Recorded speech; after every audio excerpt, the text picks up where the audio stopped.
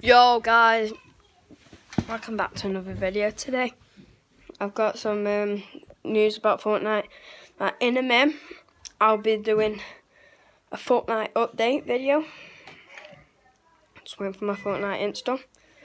Then obviously, I'll do all that for you. Then once I get my Fortnite set, you can. I'll set some stuff up for you. So today, I'm fingers crossed my state my English groves have been activated in the red beacons where in um, the frozen lake and paradise palms. I just hope them are back. If they're not it'll, it'll be upsetting. So I just want to let you know guys know so go follow me on Snapchat.